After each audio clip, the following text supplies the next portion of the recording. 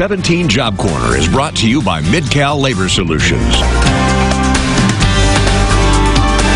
Welcome back, 17 on set. Joining us this morning, Teresa Hitchcock with America's Job Center. We've got a bunch of recruitments and job openings to talk about around the county, literally all around the county, not just here in Bakersfield. Good morning, Teresa. Thanks for coming in. Good morning. Okay, so the first one, this is if you've ever wanted to be an EMT, um, this is a fast track, no experience necessary, and they'll get you working in as little as 12 weeks. That's true, and this is with Hall Ambulance, and they're now enrolling for their Emergency Medical Technician Academy.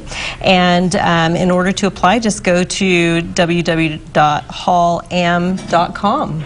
And this is another recruitment going on with Key Staffing, staffing happening January 23rd. And that's happening at our Oildale location, and they have a number of openings CNC machine operators, production workers, material handlers, and welders. And then this is an interesting one. So this is happening in Ridgecrest, kind of post-earthquake here. Um, they have a lot of repairs and renovations that they're going to be looking to do. This is the naval facility over there, and uh, they have several openings. They do. They'll be doing um, literally billions of dollars worth of um, improvements to that facility. So they're looking for civilian skilled trades and experienced professional and the electricians, painters, sheet metal mechanics, welders, architects, community planners, installation energy managers, and program analysts. So uh, just a variety of things going on over there. So they're holding a recruitment on Saturday, January 25th, and that's going to be at the AJCC in Ridgecrest. That's correct, from 9:30 to 1 p.m.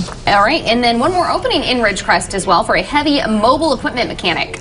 And for that, they are looking for someone um, who has a Class B license, and you must be familiar with um, various crane, forklift, aerial work platforms, and um, you must have various vehicle licenses for this position. Okay, and we have an opening in Delano. And that one is for wastewater treatment um, plant operator. They're requiring a high school diploma, GED, and a valid Class C driver's license with a clean driving record.